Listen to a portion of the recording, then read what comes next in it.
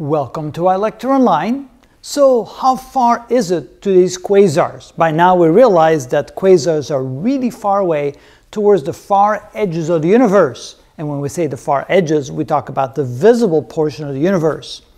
But can we really determine the distance? And the answer is not really, not accurately anyway. It's impossible to get an accurate distance to objects that are that far away. And let me explain why. So the problem is as follows. Let's say there's a quasar right here, which is billions of light years away at the moment that it's putting out its, its luminous light from the quasar. And the light travels towards our Milky Way galaxy at the speed of light. And of course, because the distance is billions of light years, it will take billions of years for the light to reach us. And we can then, of course, calculate the recessional velocity by measuring the shift in the light, the Doppler shift in the light, because the object is moving away from us as the light is, is uh, approaching us. And we can then say that the object will be traveling for billions of years at some recessional velocity. But of course, that velocity is not constant because as the universe is expanding more and more and more and more spaces between the objects, this object will travel faster and faster over those billions of years. It's not traveling as fast now as it will in the future as the expansion of the universe is, is accelerating and as the universe is getting larger, the more distance between galaxies, the faster it will be receding. So we really don't know where this object is today compared to was then when the light started from it that we're seeing today.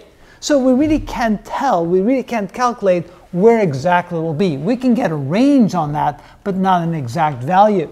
So it's better to talk about the distance to faraway objects in terms of two things. First of all, the redshift. We can calculate the redshift, and of course, since they're moving, since they're moving so fast, the redshift will have relativistic aspects to it, and we'll see that in just a moment. And we can calculate the recessional velocity. So we can talk about the distance in terms of the redshift or in terms of the recessional velocity. And this is, how, and this is the reason why we can't calculate the distance accurately. In order to calculate the distance accurately, we need to have these one, two, three, four constants relatively accurately. What are those constants? Well, this is the Hubble constant, and of course you already know the Hubble constant is still not a true constant. We still don't know what the exact value is, so there's a certain amount of uncertainty there. Then we need the omega sub m, the omega sub, that should be a lambda, omega sub lambda, and an omega of the radiation. In other words, the energy equivalent of all the mass in the universe, including the dark matter. And of course, it's still trying to determine how much mass there is in the universe. Then this is the energy equivalent of the dark energy, which seems to be pushing the universe apart, and we don't know that accurately either and we have to have an accurate value of the energy equivalent of all the neutrinos and all the radiation left over in the universe. Those three together, plus the Hubble constant, are all necessary to calculate accurately how fast this will be moving from the place where it was then to the place where it is now. And that is, of course, quite an undertaking, and even though we have the equations, we just don't know what the parameters are, and we can put a range in for the parameters and get a range for the value of where it's at. So instead of doing that, we can calculate the redshift and we can calculate the recessional velocity. How do we calculate the redshift? Well, we call it the z factor. The z redshift is calculated by taking the observed wavelength of a particular gas like hydrogen, subtract from that the wavelength that the that the light would be if the object wasn't moving at all, which is easy to establish in the laboratory, and we divide that by the wavelength if it wasn't moving at all. So this particular fraction, which can be written like this, wavelength observed divided by the wavelength if it was not moving, minus 1, and that can also be calculated in terms of the velocity relative to the speed of light. So it is relatively easy to calculate the redshift. Once we know the redshift, we can then calculate the fraction of the velocity of the object relative to the speed of light. That is simply z plus 1 squared minus 1 divided by z plus 1 squared plus 1.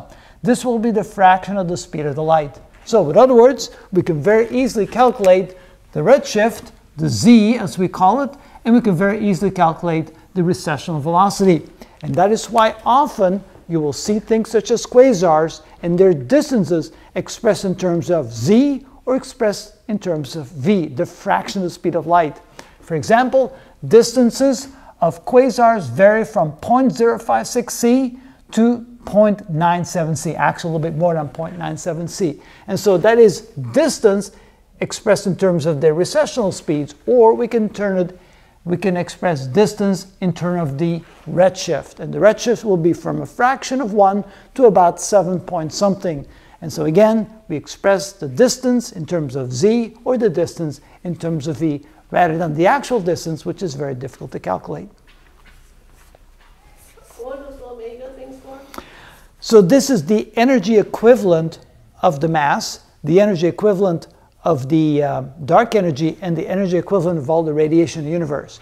Because the more mass there's in the universe, the more it will slow it down because there's more gravitational force.